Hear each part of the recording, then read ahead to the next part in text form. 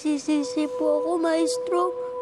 Kasi po, dahil po sa akin, kaya nag-iwala yung mga magulang ko.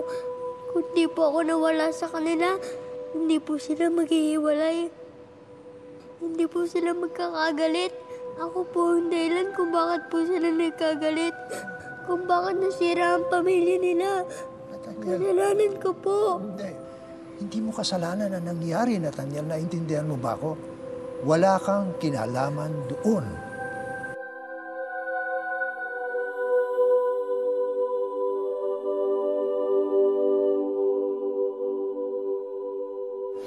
Pakinggan mo ako mabuti, anak. Hindi mo kasalanan. Hindi ikaw ang Nathaniel na anak nila. Pakinggan mo ko, Nathaniel, hindi rin ikaw ang Nathaniel na sanggol nila. Ikaw ang Nathaniel na isa ng anghel.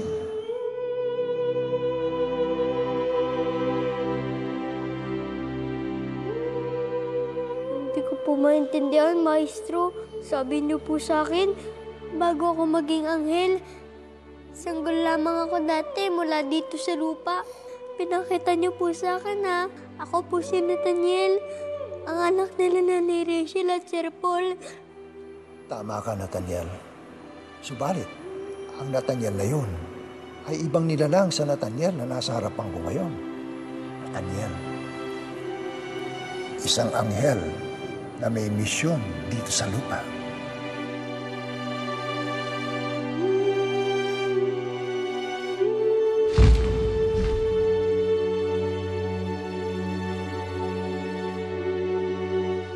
Ang sinasabi ko lang sa iyo, Nathaniel, hindi mahalaga kung saan ka nag-umpisa, kung ano yung nakaraan. Ang mahalaga, Nathaniel, ang iyong misyon. Hindi ka pinadala dito sa lupa para sa ano pa mang bagay. Pinadala ka para maging matagumpay ang iyong misyon. Kaya, Nathaniel, pinapaalala ko lang sa iyo, huwag na huwag mong sasabihin kay Rachel at kay Paul yung nakita mo dito. Sapagkat pag ito ay sinabi mo sa kanila, para na rin tayo nakikialam sa kanilang malayang pagpapasya. Maliwanag ba, Nathaniel? Pero maestro, sila po ang pamilya. Nathaniel, hindi mo na sila magulang. Hindi mo sila pamilya. Narito ka para sa misyon. Sana wag naman sila maging balakid para magampanan mo ito. Maliwanag ba, Nathaniel? Maliwanag po, maestro. Munting anghel, ayokong nakikita kang umiiyak. Ayokong nakita ka nasasaktan, Nathaniel. Kung ganun palagi ang mangyayari, Nathaniel, siguro mas mabuti pang bumalik na lamang tayo sa langit. Hindi po, maestro. Kaya ko po to. Hindi po ako babalik sa langit hanggat hindi ko po natatapos ang misyon ko. Wala po ito. Sige, Nathaniel.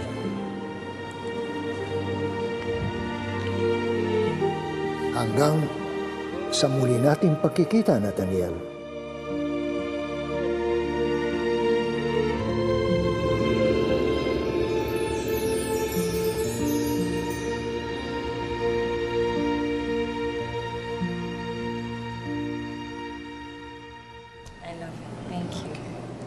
How'd you know?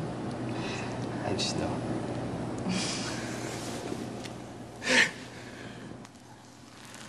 this is for you. Thanks. Sweet.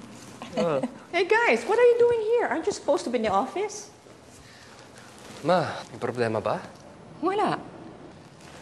Ah, well, pumunta kami dito kasi gusto namin ipaalam agad sa'yo.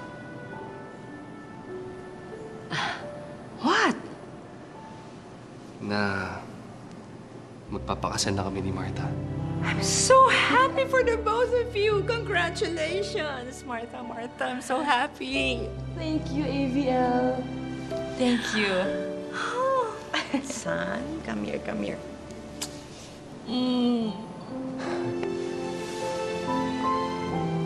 Oh, Ma, bakit? Okay na ba kayo? Of course I'm okay, son. It's just that matagal-tagal na rin kitang hindi nayayakap.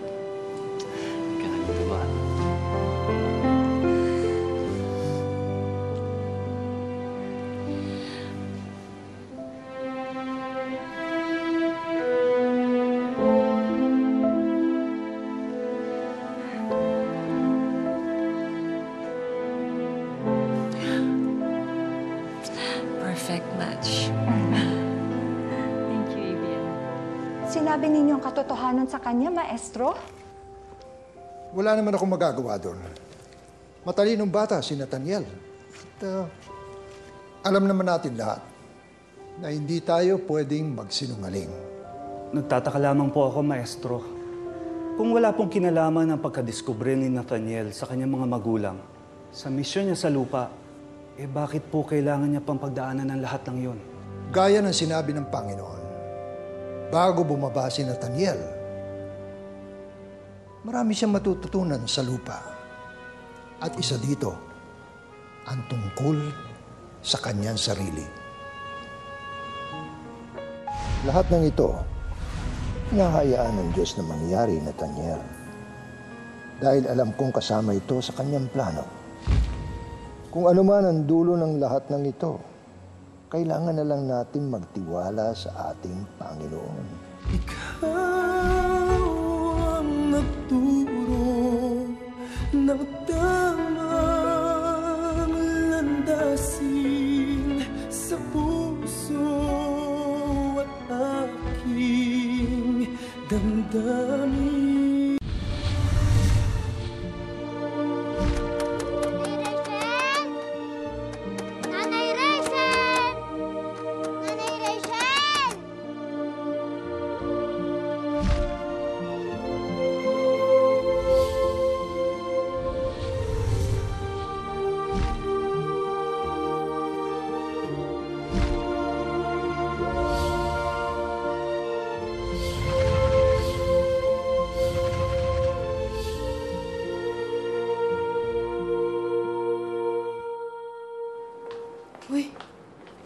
Ba yung latest news? Nang alin? Ano ba? Trending na kaya ngayon. Eto, trending na sila. Ikakasal na yung ex mo doon sa malditang abogadang yun. Alam mo na, no? Hay nako, Rachel. Pag kinasal talaga yan si Paul dyan sa bruhang yan, too late na talaga. Too late ang ano? Na magkabalikan kayo. Ka ba naman? Too late na. Pag may kasalan nangyari, wala na talaga tayong magagawa dyan. Wala na. At sino naman na nagsabi sa'yo na meron akong balak gawin, ha? Wala na akong pakialam. Kahit magpakasal pa silang dalawa. Ma? Okay ka lang?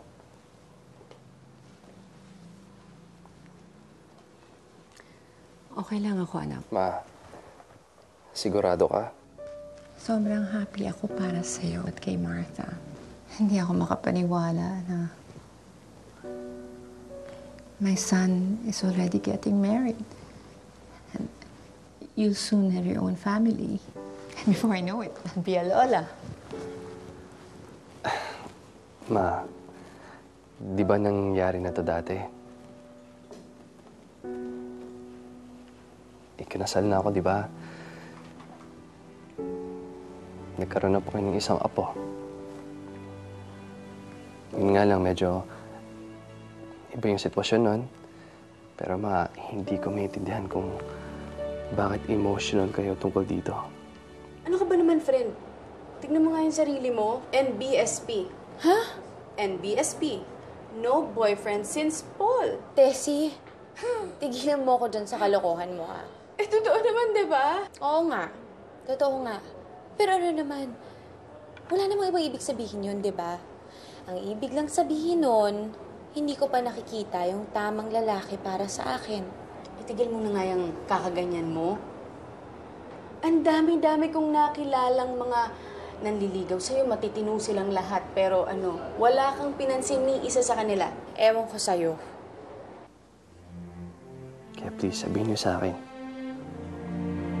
Ano ba ang nangyayari sa inyo?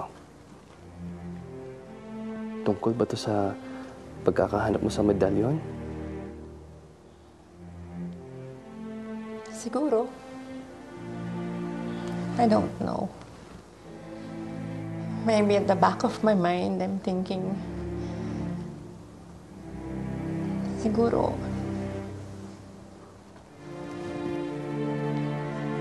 mas masaya tayo kung kasama natin ang kapatid mo. Lalo na sa pagkakataong ito. Kung, kung buo ang pamilya natin. Tama na. Dapat masaya tayo. Ma, dapat masaya tayo. At sigurado ako, kung nasaan man yung kapatid ko, masaya din siya para sa akin.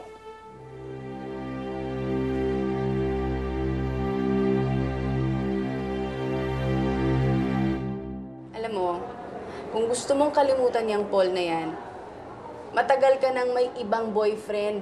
Alam mong hindi ako ganong klaseng babae. Oo, sige na nga. Oo, yan. Yan, pwede mong maging rason yan. Pero, pwede din naman kasing si Paul pa rin ang laman ng puso mo. Kaya, wala kang mapapasok-pasok na ibang lalaki. Alam mo, kung meron man akong nararamdaman para kay Paul ngayon, Mm. yun ay ang galit ko para sa kanya. Yun lang. Wala nang iba. Kaya wala akong pakialam kahit na magpakasal siya o hindi.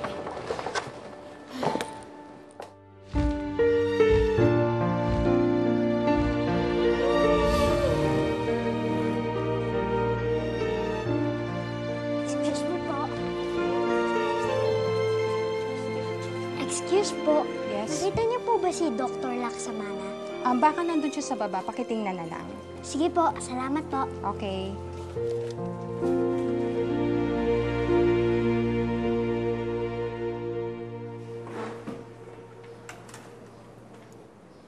Sabi ko na nga ba, may pakialam ka pa rin dyan sa ikakasal na Paul na yan.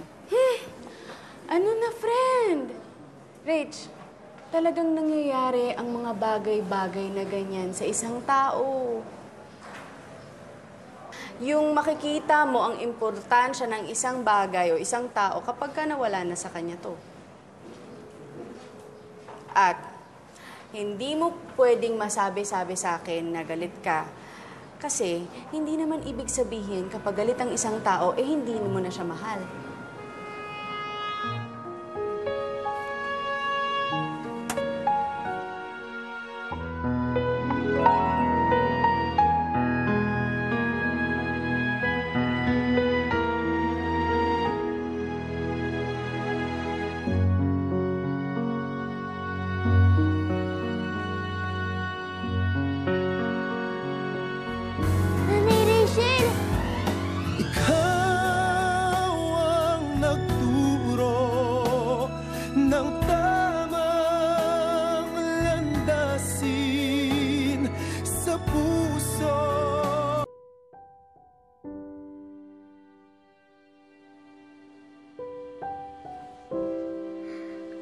Ko pa po kayo hinahanap.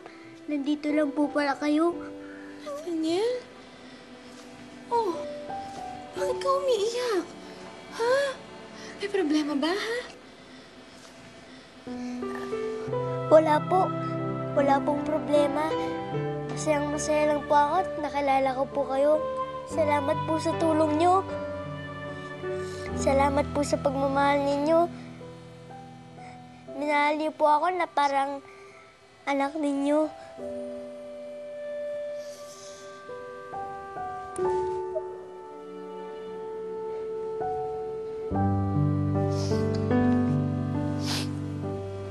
Walang anuman, Nathaniel, anak. Alam mo ba, ako din, nagpapasalamat ako sa'yo. Ha? Sa lahat ng tulong mo. Ng malasakit mo sa akin. Mahal na mahal din kita, Nathaniel. My guardian angel. Mahal na mahal ko po kayo, Nanay Rachel. Mahal na mahal ko po kayo.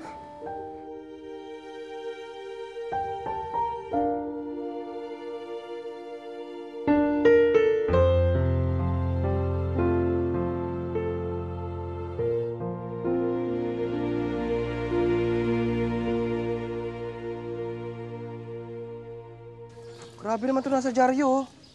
Matagal na sila magkasosyo, pero niloko pa rin siya ng partner niya, oh. Alam mo, mahirap talaga yung ganun eh. Magkasosyo kayo, tapos di mo pa siya masyadong kakalala. Mahirap magtiwala pa ganun. Dapat pa ganun, sukat mo na. Para wala nang lokohan. Oo nga, boss. Oo, oo nga, tama ka dyan, boss. Ba't ganyan kayong dalawa? Para kayo may sakit ah. Ah, di wala, boss. Ah, di ba sabi niyo magtrabaho ng todo para makaipon tayo? Oo nga, kaya nga nagtatrabaho mabuti. Gusto ko yan. Tara na! Tara na! Hello, Paul. Yes, Mr. Roman. I just wanted to congratulate you and Attorney Amante. Oh, so you've heard. Eh, sino pa ba namang hindi? That was a wise decision, Paul. Thank you, sir.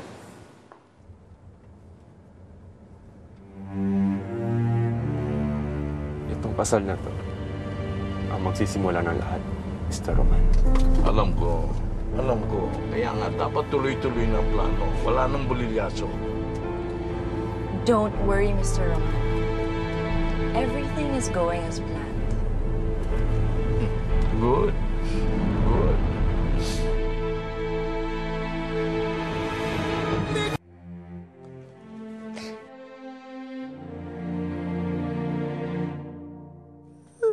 Nathaniel, bakit?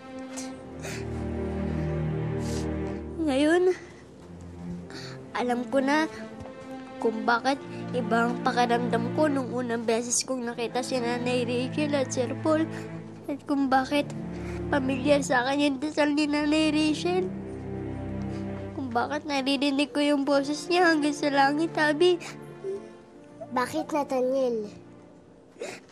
Sila Nanay Rachel at Sir Paul. Sila ang mga magulang ko. Ikaw si? Oo, Abi. Bago ako maging anghel, ako si Nathaniel. Ang anak nila. Pero paano mo sasabihin sa kanila yun, Nathaniel? Eh, hindi ko naman pwede sabihin sa kanila yun eh. Alam mo naman yun, di ba? Ha? Eh, bakit naman? Magulang mo na ito, Nathaniel. Paano ko yung maipapaliwanag na ako si Nathaniel, ang anak nila dati. Pero hindi na ako yun. Kasi naging angel na ako. Kung sa bagay, mahirap nga maintindihan. Kahit ako nga, naguguluhan eh. Nakita ko kung gaano kasaya dati sila Nanay Rachel at Sir Paul nung sanggol pa lamang ako. Kung gaano sila kasaya at nagmamahalan bilang isang pamilya. Pero dahil sa akin, dahil sa pagkamatay ko, nagkaaway na Nanay Rachel at Sir Paul.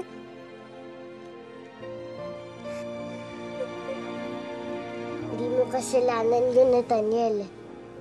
Huwag mong sabihin na dahil sa'yo yun.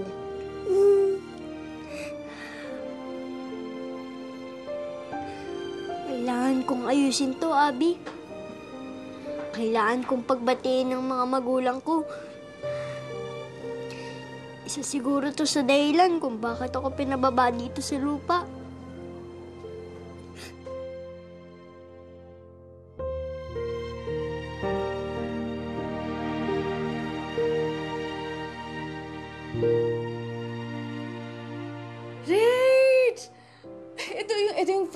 Na sinasabi ko sa'yo.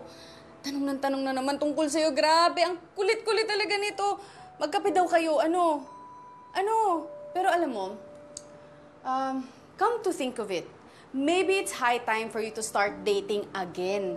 ba? Sabi nga ni Tita Lot, bakit hindi ka tumanggap ng manliligaw? Eh, yung ex mo nga, ikakasal na. Hoy, Rich, nakikinig ka ba sa akin? Sige. Payag ako. Sabi ko na nga ba, hindi ka nakikinig sa akin eh. Ano nga, pakiulit nga ng sinabi mo.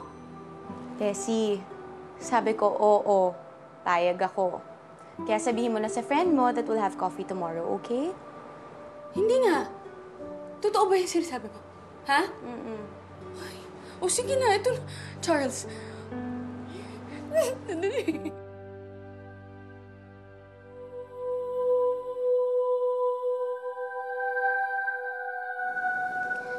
Panginoon, salamat po at nagkaroon po ako ng pagkakataon na makilala ang dati kong mga magulang. Alam ko pong hindi lahat ng anghel nabibigyan ng pagkakataon tulad nito. Kaya po ako sobrang nagpapasalamat sa inyo, Panginoon. Dahil po dito, may pagkakataon pa po akong mayakap ang dati kong mga magulang. Salamat po, Panginoon. Good night po.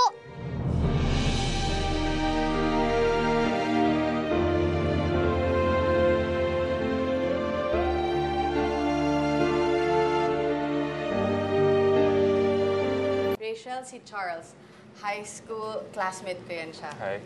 Hello. Um, Charles si Rachel. O, paano? Alis na ako. Hindi ka ba sasama sa amin, Tessie? Hindi, sige na. Alagaan mo yung kaibigan ko, ah. Of course. Enjoy. Please have a seat. Thank you. Um, so, what do you want to order? Here. Salamat.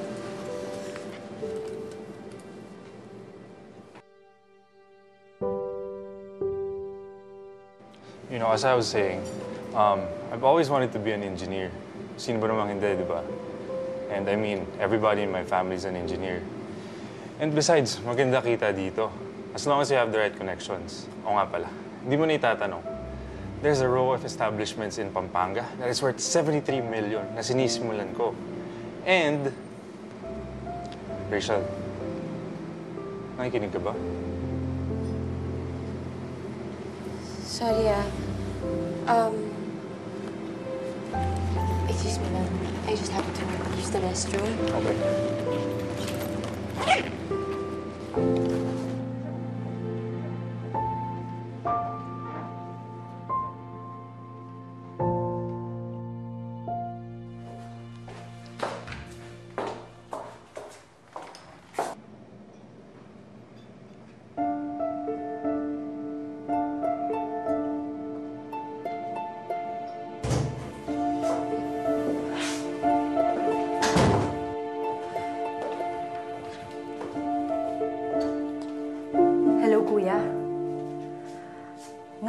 malapit na kaming ikasal ni Paul, matutuloy na yung plano natin. Makakapaghiganti na tayo sa wakas.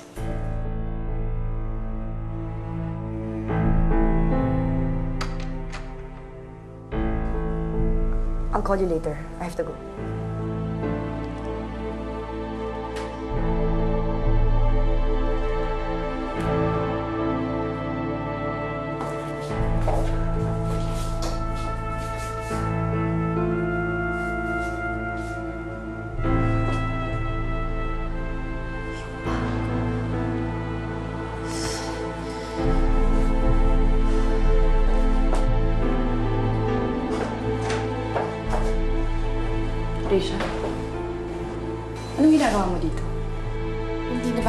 mag-CR? Papasok ka lang ba or kanina ka pa nandito? Bakit, Martha?